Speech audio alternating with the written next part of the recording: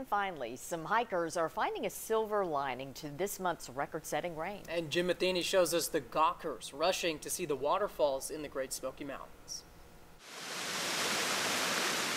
The Cataract Falls this is our first waterfall that we're actually checking out down here. The love is flowing for newlyweds David and Holly Gatto, whose Smoky Mountain celebration was nearly a washout. Yes, Yeah. we almost didn't come, and I said, we're going, we're going.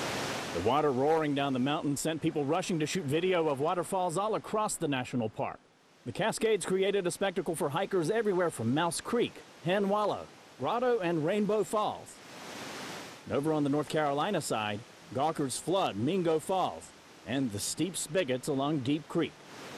Rangers just ask that you not cross the streams en route to this scenery. they're very dangerous. And so when you come to a stream crossing, just like the roadway, don't go through it. The Laurel Falls is always good. Laurel Falls, there's no major stream crossings there. There are plenty of places to drink in this deluge without having to hike at all. There's some awesome places right along the roadway. At the Sinks, that's a, a really nice waterfall area right there on the roadway. Nice parking area and viewing platform for folks. The same goes for Meigs Falls along Little River Road. And the Cataract Falls behind park headquarters is the perfect site for the Gattos. It's an easy waterfall to check out. You know, you only got to walk, you know, a, a tenth of a mile to come down here. Enjoy the sound of moving water and some Yes. tranquility. Peaceful and relaxing, and Yeah.